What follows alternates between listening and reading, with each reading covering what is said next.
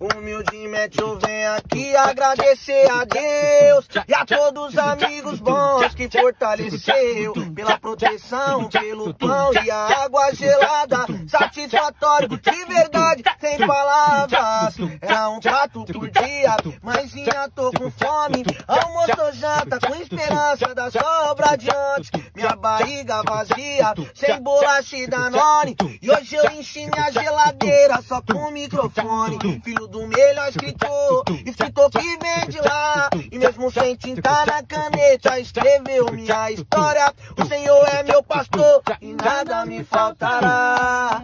Nem proteção pra nossa trajetória. É, hoje nós chora, mas é de felicidade. E de tristeza nunca mais eu vou chorar. Só rajadão, chuva de positividade. Que Deus proteja nós dos mal olhar.